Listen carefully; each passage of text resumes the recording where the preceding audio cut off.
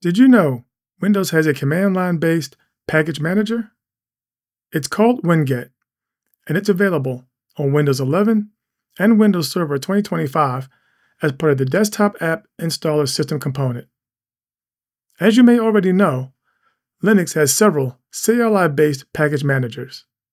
The most popular are APT for Debian based distributions, including Mint and Ubuntu, Yum and DNF for Red Hat based distributions, including CentOS, Rocky, and Oracle Linux, Zypper for SUSE based distributions, including SUSE Enterprise Linux and OpenSUSE.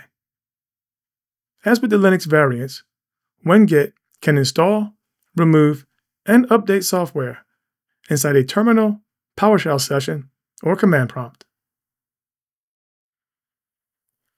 For Windows 11 and Windows Server 2025, Winget is already installed. Open an administrative or elevated terminal or PowerShell session and type Winget to see the basic help menu. Use Winget search to find an application. If prompted, hit the Y key to accept the source agreement terms. Winget does not accept wildcards, but will match partial name queries. Go figure. There will be four fields name, ID, version, and source. To install, type winget install dash dash ID with the ID name. Accept the license terms agreement if prompted. Installing using the dash dash ID option can help eliminate possible name conflicts and confusion.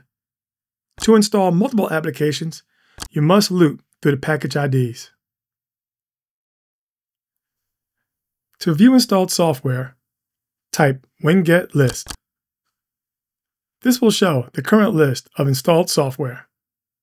An additional available field may show updated package versions for eligible installed applications.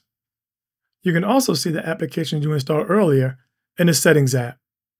Right-click Start, Settings, Apps, Installed Apps.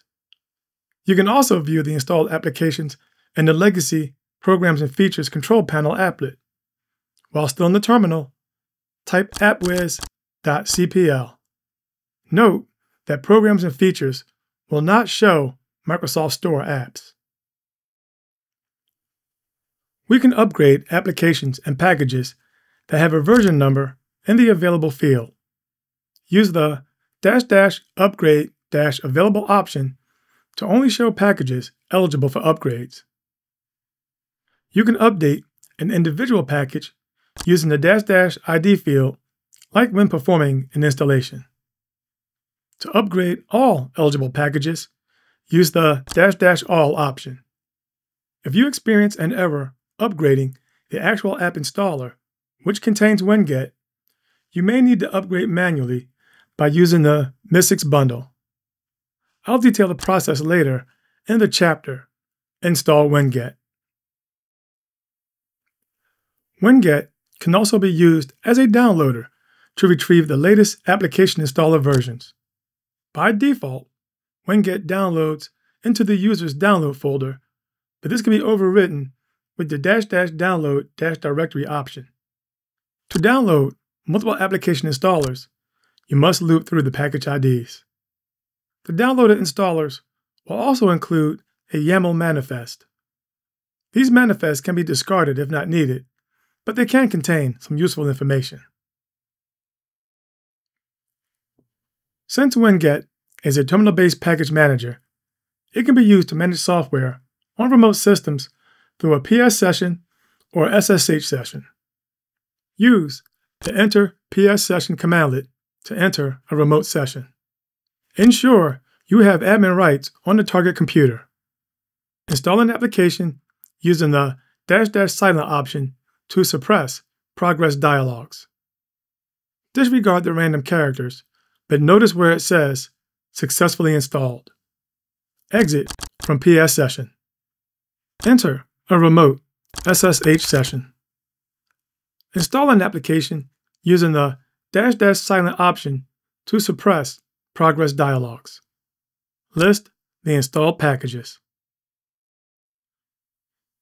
WinGet behavior can be controlled by local or domain group policies. Under Computer Configuration, Administrative Templates, Windows Components, Desktop App Installer, there are 15 settings that control the behavior of the Desktop App Installer and WinGet. Two settings worth noting that control whether or not a user can use WinGet are Enable App Installer, Enable Windows Package Manager command line interfaces. There are no equivalent user configuration settings for the desktop app installer. The Group Policy Editor is not available for Windows 11 Home. The WinGet CLI has its own syntax and conventions, which might seem out of place for PowerShell savvy users.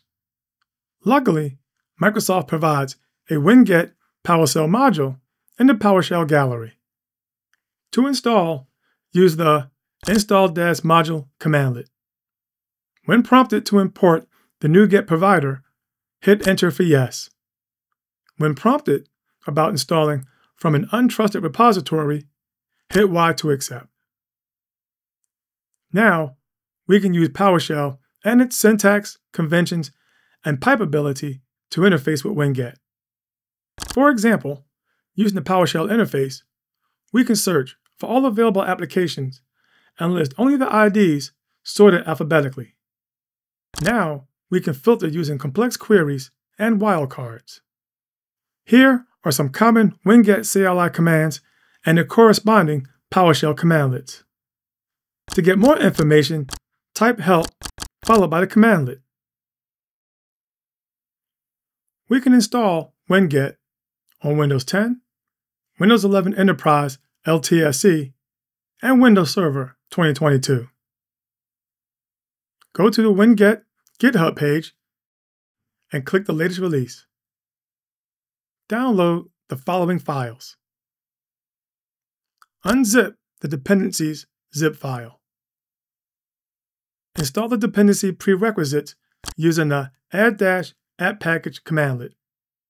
If you see an error that reads, this package cannot be installed because resources it modifies are currently in use, continue. Install the MSIX bundle. Add the license file.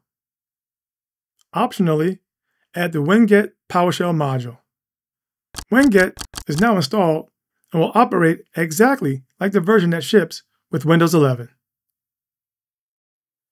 I hope you enjoyed this video, learned something new, and found it useful. If you have any feedback, corrections, or suggestions, please let me know in the comments below. Please like, subscribe, and pass it on to others. And I thank you for watching.